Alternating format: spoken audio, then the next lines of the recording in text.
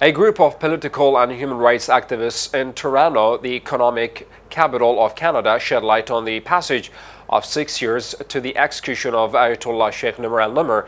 May Allah bless his soul. Bahraini activist Khalid al-Sahwan said in a speech during the event, Today we commemorate the sixth anniversary of the execution of the martyr Ayatollah Nimr Baqir al-Nimr who spoke out with his words and voice to defend the rights of the oppressed peoples in the Gulf, transcending all borders, noting that we stand today and we do not forget that, that pain that still boils in our chests. For her part, human rights activist Yusur al-Bahraini from Bahrain said during the vigil, Today we commemorate the sixth anniversary of the execution of Sheikh Nimr al-Nimr, who demanded democracy and defended peace and human rights. This comes after he spent years in solitary confinement for no reason other than his defense of peace and human rights.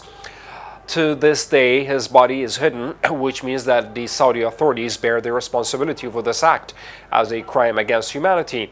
The activists added, stressing the need to apply justice and release all human rights defenders who are inside Saudi prisons.